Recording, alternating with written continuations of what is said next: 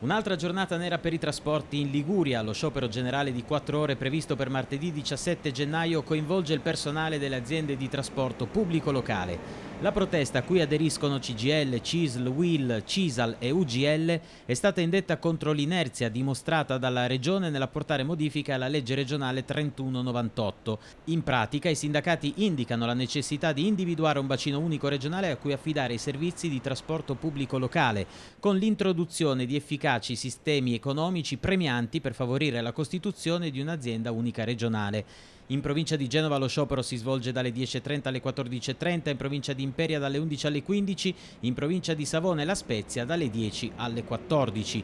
I sindacati chiedono alla Regione di garantire le risorse necessarie alla sopravvivenza delle cinque aziende di trasporto pubblico locale, la salvaguardia degli attuali livelli di servizio, la garanzia della continuità occupazionale dei quasi 5.000 lavoratori e il mantenimento dei trattamenti economici e normativi acquisiti contrattualmente.